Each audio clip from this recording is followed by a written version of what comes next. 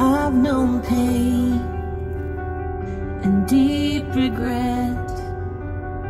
I've known the weight of my mistakes like the back of my hand. I've known deception and all.